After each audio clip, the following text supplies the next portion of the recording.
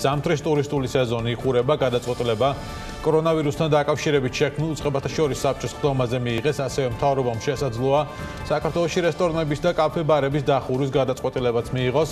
საბჭოს ხდომის უახლეს დეტალებით დავით ჯალღონია განაგზობს საუბარს, დავით გამარჯობა გისმით. მოგესალმები ბექა პირველ რიგში უნდა ითქვას რომ შემდეგი ორი კვირის განმავლობაში საქართველოსი უცხო ქვეყნის მოქალაქეებს შემოსვლა საქართველოსი ეკრძალებათ როგორც იცით ეს შეზღუდვა უკვე მოქმედებს რუსეთსა და საქართველოს შორის დღეიდან აიგრძალა ამ ორ ქვეყანას შორის გადაადგილების შეზღუდვა დღეიდან შეიზღუდა გადაადგილება.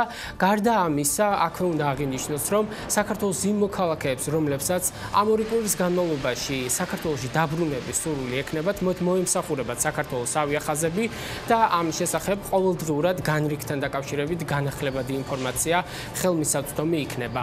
საერთოდ ჯამში ჩვენ ხუთი გადაწყვეტილება მოვისმინეთ საკოორდინაციო საბჭოსგან. მეორე არის შეზღუდვა, რომელიც კონკრეტულად სამთო კურორტებთან დაკავშირებით გავრცელდება.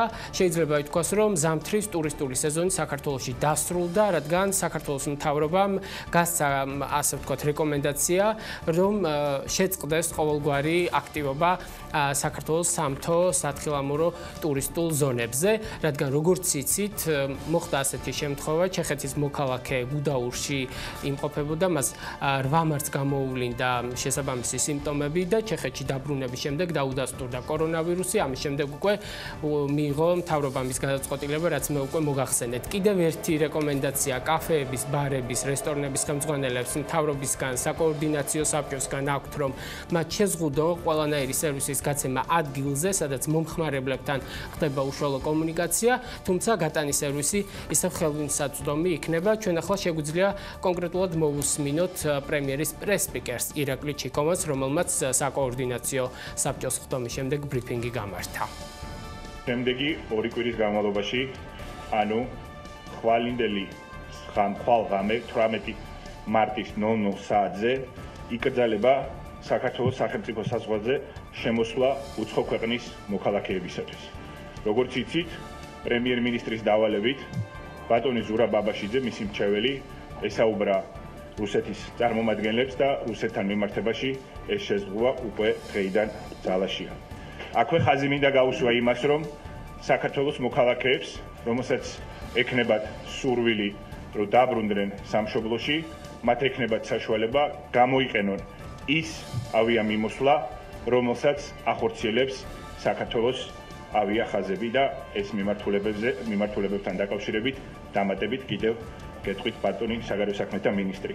აქვე ხაზი მინდა გაუსვა იმას, რომ იქნება შესაძლებლობა იმ მოქალაქეებისათვის, რომლებიც არიან ჩვენი თანამოქალაქეების ოჯახის წევრები და უშუალო ოჯახის წევრები მათ შემოვიდნენ საქართველოში. ასევე დროზე ადრე იხურება საქართველოს სამთრო სამთხრალმრო კურორტები და აქ ეს გადაწყვეტილებაც იქნა მიღებული. ასევე გვინდა საკოორდინაციო საბჭოზე მიღებული იქნა გადაწყვეტილება, რომ რეკომენდაცია მიეცეს კაფეებს, რესტორნებს და ბარებს, რომ შეზღუდონ მათი მომსახურებების ის ნაწილი, რომელიც დაკავშირებულია მოხვალოთ მოქალაქეების მომსახურებასთან. მათ ექნებათ საშუალება გააგრძელონ ოპერირება და ფუნქციონირება ეგრეთ წოდებული გატანის სერვისებისთვის, თუმცა ჩვენი რეკომენდაცია რომ მაქსიმალურად შეიზღუდოს თავშეყრის ადგილები და კონტაქტი ჩვენს თანამოქალაქეებთან. კიდევ ერთი რეკომენდაცია, რაც დღეს ჩვენ მოვისმინეთ ირაკლი ჩიქოვანისგან არის ის, რომ 70 წელზე მოთ მყოფ მოქალაქეებს ეძლებათ რეკომენდაცია დარჩნენ სახლში, მოერიდონ საზოგადოებრივი თავშეყრის ადგილებს, რათა შესაბამის საფრთხე იქნას მათზე თავიდან აცილებული. კიდევ ერთი დეტალი, ის გადაწყვეტილებები, რომელთა მიღებას უზრუნველყოფს საკოორდინაციო საბჭო, შემდეგ სპეციალური მექანიზმით იქნება გაკონტროლებული, შეიქმნება სპეციალური მექანიზმი, რომელიც რომელიც უზრუნველყოფს მონიტორინგს აი ამ გადაწყვეტილებების აღსრულებასთან დაკავშირებით. დღესვე უნდა აღინიშნოს, რომ ამ სხდომის დასრულების შემდეგ ჯანდაცვის მინისტრი მაგატერინა ტიკარაძემ განაცხადა, რომ ყველა რეკომენდაცია თუ იქნება ზედმიწევნით შესრულებული, თავრობას საგანგებო მდგომარეობის გამოცხადება არ მოუწევს ამ ეტაპზე.